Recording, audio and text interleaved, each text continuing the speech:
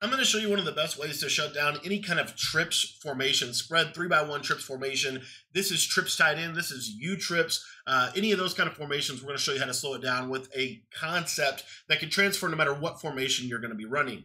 Now, in this video, we're going to be running this out of the nickel 3-3 Cub because I believe the nickel 3-3 Cub is the best defense in the entire game right now. And if you want to get my entire nickel 3-3 Cub defensive ebook, uh, it's only 10 bucks. You can get that by becoming a Patreon member. I'm going to put a link to that down in the description. Patreon members get access to all of our offensive and defensive ebooks, as well as all of the updates. We've already dropped 15 uh, offensive and defensive ebooks for Madden 24, and we're going to be dropping more uh, later this week. So make sure that you're in the Patreon. That way you can take your game to the next level. But I want to talk to you today specifically about understanding a really cool coverage concept for defending trips tight end type sets. So a couple things real quick. In your coaching adjustments, what you want to do is you want to uh, go ahead and go to uh, ball and our defense. I like to put this on SWAT ball. I think it does help. And then really outside of that, the only thing we really need to do for this is we're going to turn our zone coverage on to match, okay? We just want to make sure it matches on. Now, the other big thing with this concept, we don't want any zone drop set, okay? We don't want any zone drop set. That is a big important piece. And then what I like to do is uh, set a very specific audible in your audibles, and that is the Sam Will Blitz 3. You really could do this out of anything, but I do think cover three um, is the best base for this, especially if you want to play some zone coverage behind it. You can do this out of man, and I'll try to show you both in this video. Okay, so we're just going to come out in really whatever we want out of 3-3 because we're going to be audibling into nickel 3-3 cub. And when we're playing trip sets, what I like about um, Sam Will Blitz 3 is you're going to get a better um, you're going to get a better alignment for trip sets, a little bit more a little more balanced. So you'll see here Sam Will Blitz 3. Now, what I like to do is just, you know, keep my user in the middle of the field. And essentially, here's how we're going to set this play up. What we're going to do is we're going to put the safety that is on the trips tight end uh, or on the trips side of the formation. We're going to put him into an inside quarter. We're then going to take the outside cornerback that is over the top of the number one receiver, and we are going to put him into an outside quarter. The last thing we're going to do for the actual concept is we are going to man up the number two receiver in the trip set. So in this example, it's going to be Devin Hester.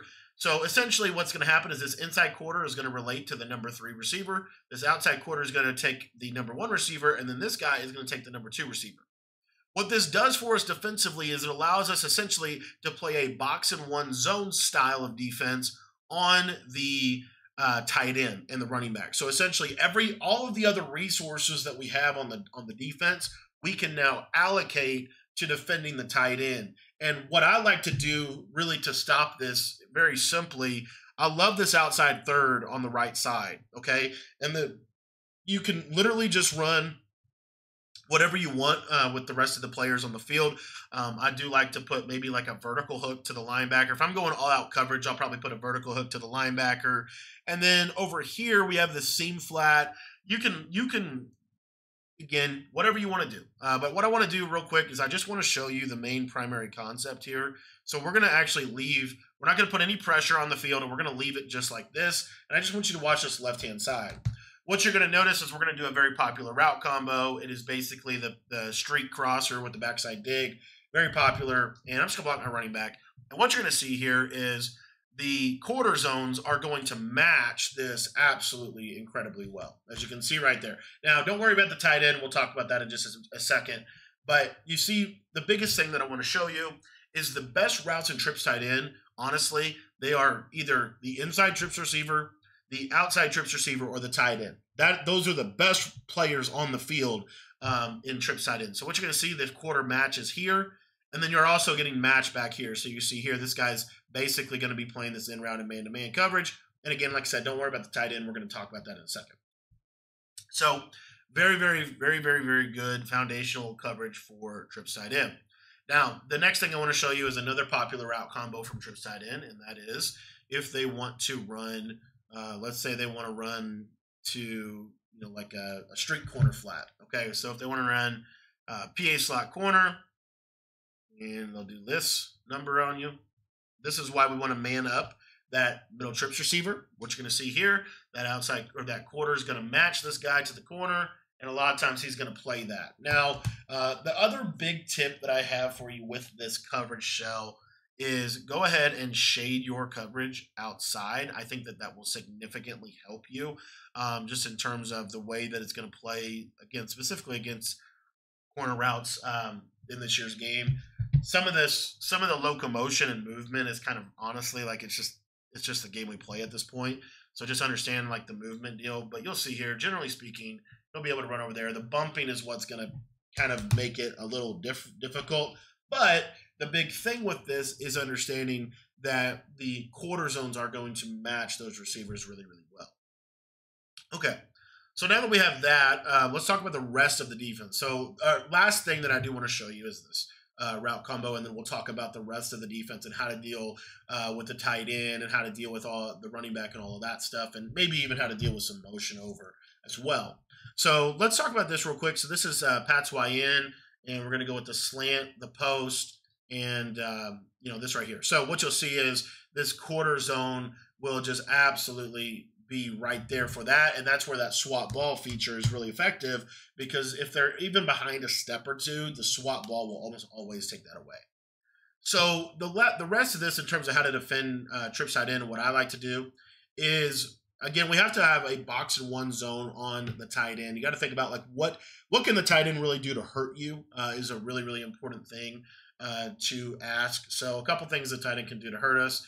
One of those is he could be on a eventually when we get tight end apprentice, he's going to be on a tight end apprentice post. He can be on a Y post. He's essentially anything going back across the middle of the field is where the tight end can hurt us the most. Okay, so what I like to do to counter uh, to counter that is I like to put my middle line or my my two outside linebackers. I really like to put them in seam flats, and then I'm going to take that safety and I'm just going to man him up on the tight end.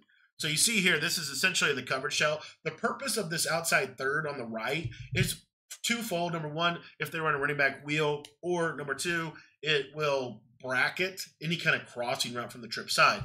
So let's say that we want to run, you know, a concept like, uh, let's see here, Pat's or Pat's YN again, and we'll show you this tight end is going to basically get guarded. So you'll see here, the man up is going to guard him. Now, that's going to be where your primary user is going to be, right?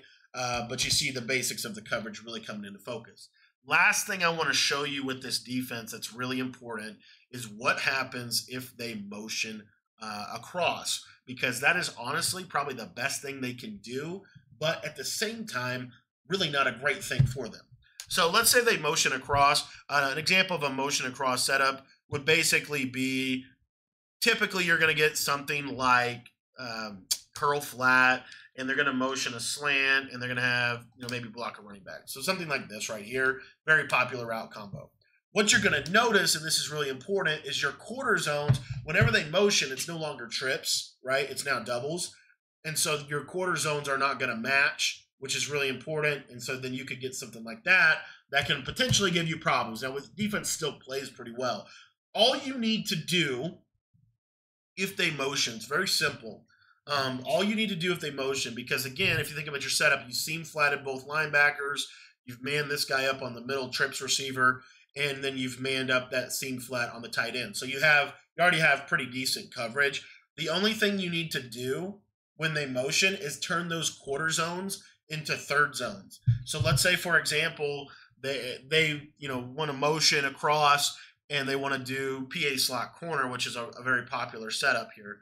I'm going to motion this guy across. The second I see motion on my end, I need to be putting these defenders in outside thirds or uh, in, back into thirds on the left and from the safety in the corner. Now what you're going to see is we're getting a really good match on this, and we're going to be able to take that away because what we've done is we've turned it from a cover four box into a cover three match, which is much better for defending uh, any kind of trip set. Now, we explain this a lot more in depth in the Patreon and really go into the specifics for you on this. So, if you want to get access to the full defensive ebook, join the Patreon today for just $10. You can sign up by heading down to the description and clicking the link down below.